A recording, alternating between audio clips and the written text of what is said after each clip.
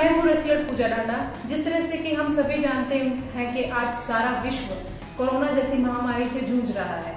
और हम सभी का ये फ़र्ज़ बनता है कि हम अपने देश को बचाने के लिए, पूरे विश्व को बचाने के लिए अपने घर में बने रहें। जिस तरह से पीएम मोदी ने आह्वान किया है कि आप सभी अपने घर में रहें और सुरक्षित रहें। उसी के साथ साथ ज़रूरी है कि हम अपना फ़िज़िकल फिटनेस भी बनाए रखें। तो जितना ज़्यादा हो सके आप पॉसिबल हो, आप कुछ ना कुछ एक्सरसाइज अपने घर में ज़रूर करें और अपने आप को फिट रखें। धन्यवाद।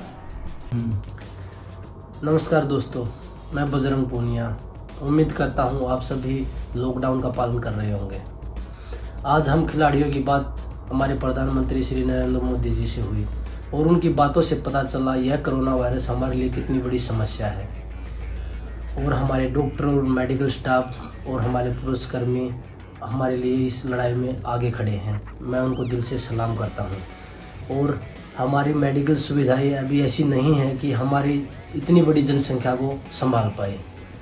तो मैं आप सभी से विनती करता हूँ, जो हमारी सरकार और हमारे डॉक्टर हमें निर्देश और आदेश देते हैं, हम उसका पालन करें।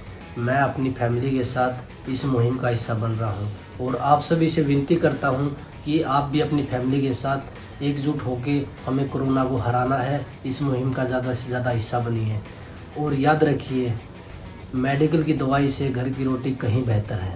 जय हिंद, जय भारत।